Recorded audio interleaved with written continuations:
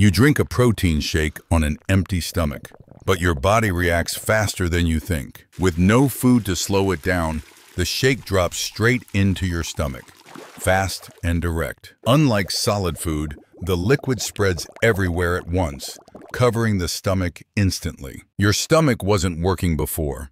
Now it suddenly switches into active digestion mode. High protein sends a signal.